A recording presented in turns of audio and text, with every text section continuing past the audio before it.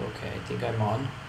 This is a recording for um, IBDP Physics uh, students, grade 11, enroll at GESS, uh, and for their parents.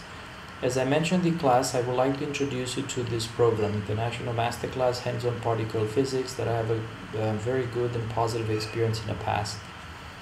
Um, I have presented this program to the um, science chair, Mrs. Walton, as well as to Mr. Morgan, and they um, seem willing in order to incorporate into the IB um, DP physics course.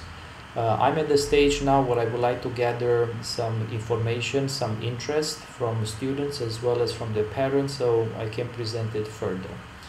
Um, in a nutshell, it is very much tied to our curriculum. IB curriculum will spend um, a lot of time on a topic 7 and topic 12 learning about atomic nuclear uh, particle physics and quantum uh, physics. This is something a little bit more recent you know it's the physics that was developed after 1900s and that was the main driven idea by the people who developed this program um, now at the 50th edition it is run by the Technical University Dresden in Germany and the QuarkNet program at Notre Dame University in, in US. Uh, basically, it gives the opportunity to students to analyze real data that is released by um, CERN.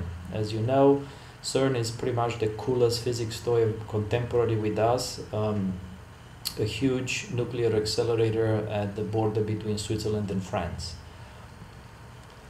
Okay, what does it involve for us? Um, please take a look at this letter. It's a good time to pause the video and um, read the letter.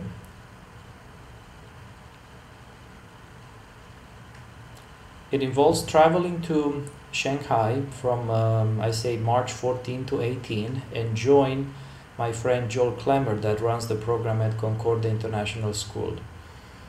Uh, he's also sort of a hub. Many other schools are attending and participate into this program that will end with a video conference with physicists at CERN on March 17.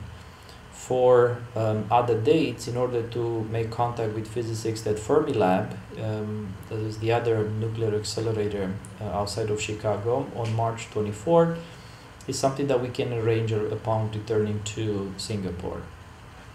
In terms of a cost, um, a quick search allows me to find that it's about $530 um, Singapore to Shanghai non-stop ticket.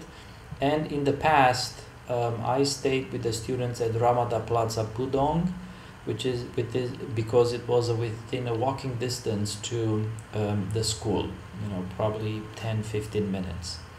Um, the price is about 750 plus taxes, so let's say $900 for four nights split between four students.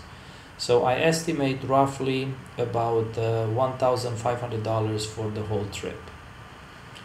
So again, um, you know, please discuss it at home, see how it fits within uh, other um, schedule, um, other events that are happening within the school and I hope to hear from you within the next uh, week or so, one or two weeks. Um,